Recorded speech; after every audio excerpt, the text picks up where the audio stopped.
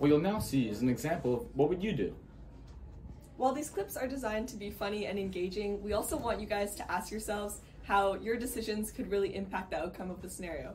So we've shared a few scenarios for you guys to talk about and Mentor, and we hope you have fun with this activity.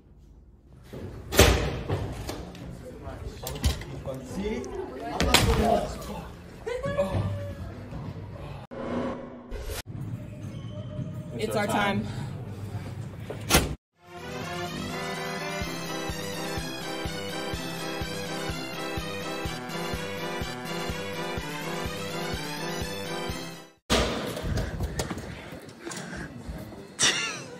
David Quinones. I'm Vanessa Quinones. We're on BVG. What would you do? Maybe know why all you just sat there and, and while this, help. this poor man fell. You were staring at him. I saw you practicing. Okay. Well, Come on, supposed to help you're pick up you're his right there. papers and show Right there. kindness. You could you could Wanna have help? helped this man.